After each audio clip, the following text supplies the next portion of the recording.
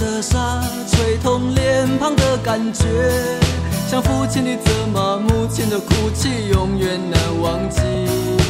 年少的我，喜欢一个人在海边，卷起裤管，光着脚丫踩在沙滩上，总是幻想海洋的尽头有另一个世界，总是以为勇敢的水手是真正的男儿。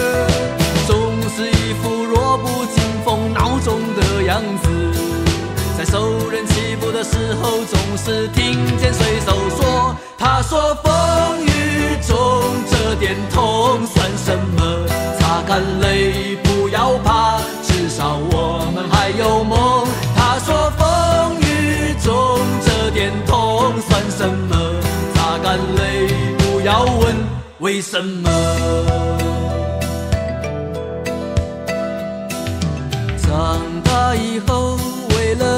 理想而努力，渐渐地忽略了父亲、母亲和故乡的消息。如今的我，生活就像在演戏，说着言不由衷的话，戴着伪善的面具，总是拿着微不足道的成就来骗自己，总是莫名其妙感到一阵的空虚。总是靠一点酒精的麻醉才能够睡去，在半睡半醒之间，仿佛又听见水手说：“他说风雨中这点痛算什么？擦干泪，不要怕，至少我们还有梦。”他说风雨中这点痛算什么？擦干泪，不要问为什么。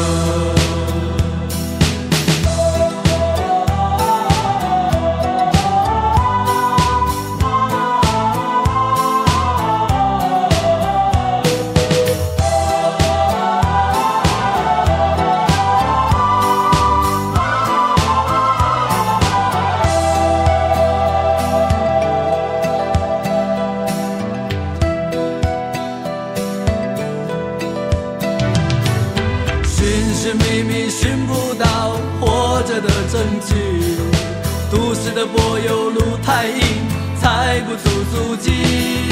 骄傲无知的现代人不知道珍惜那一片被文明糟蹋过的海洋和天地。只有远离人群，才能找回我自己，在带着咸味的空气中又传来汽笛声和水手的笑语，永远在内心的最深处听见水手说：“他说风雨中这点痛算什么？擦干泪，不要怕，至少我们还有梦。”他说风雨中这点痛算什么？擦干泪，不要问为什么。